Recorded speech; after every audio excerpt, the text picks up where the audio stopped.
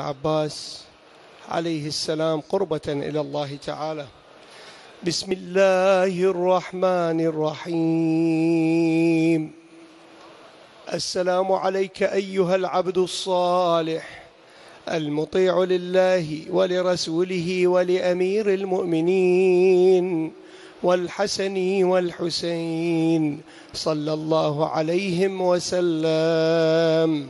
السلام عليك ورحمة الله وبركاته ومغفرته ورضوانه وعلى روحك وبدنك أشهد وأشهد الله أنك مضيت على ما مضى عليه البدريون والمجاهدون في سبيل الله المناصحون له في جهاد أعدائه المبالغون في نصرة أوليائه الذابون عن أحبائه.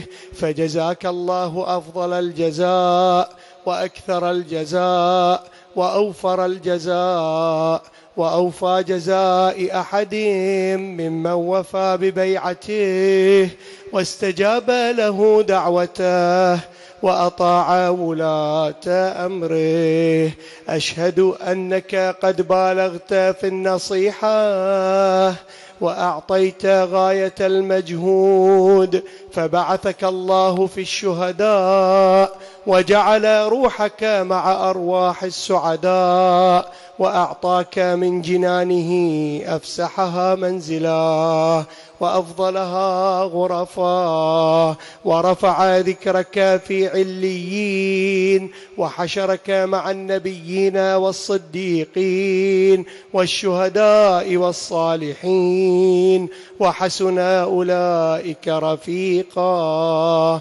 أشهد أنك لم تهن ولم تنكل وأنك مضيت على بصيرة من أمرك مقتديا بالصالحين ومتبعا للنبيين. فجمع الله بيننا وبينك وبين رسوله وأوليائه في منازل المخبتين فإنه أرحم الراحمين.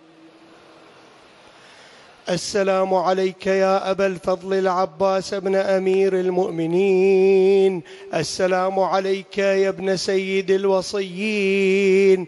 السلام عليك يا ابن أول القوم إسلاما وأقدمهم إيمانا وأقومهم بدين الله وأحوطهم على الإسلام. أشهد لقد نصحت لله ولرسوله ولأخيك فنعم الأخ المواسي لأخيه.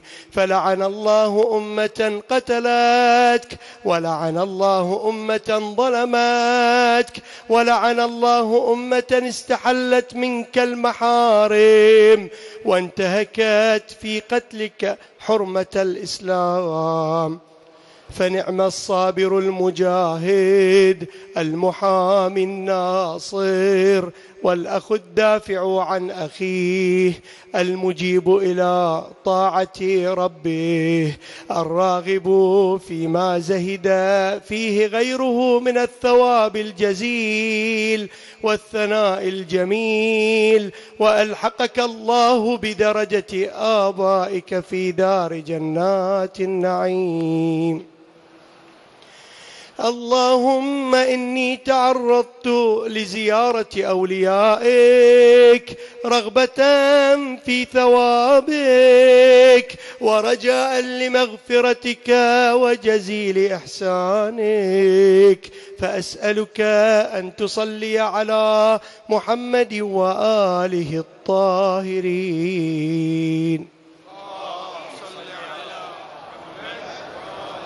وأن تجعل رزقي بهم دارا وعيشي بهم قارا وزيارتي بهم مقبولة وحياتي بهم طيبة وأدرجني إدراج المكرمين واجعلني ممن ينقلب من زيارة مشاهد أحبائك مفلحا منجحا قد استوجب غفران الذنوب وستر العيوب وكشف الكروب.